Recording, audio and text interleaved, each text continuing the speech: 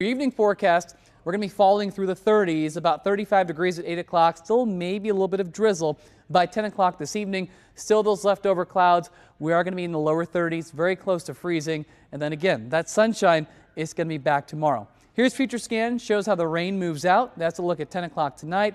Heading into our morning tomorrow, depending on how light our winds get, we could see a little bit of fog to start our day.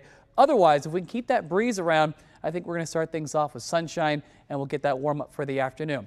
Our lows overnight, about 26 in Lee's Summit, 26 in Belton, Kansas City, Olathe, Liberty, Leavenworth, middle 20s as well. With that in mind, if there are any of those puddles left over on the streets, watch for a few slick spots as we fall into the 20s.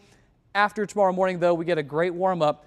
We go from the 20s early to 44 degrees by lunchtime, near 50 for the afternoon, mostly sunny, a southwest wind at about 5 to 10 miles an hour. You see the highs there near 50 degrees across the board for our Sunday. And we're looking even warmer for Monday and Tuesday, upper 50s on Monday. How about 64 degrees on Tuesday? We're going to be watching for rain and some thunderstorms to roll in for Wednesday. It'll end to some light rain into Thursday. A little bit cooler, but still highs near 50 degrees. Looking great heading into next weekend.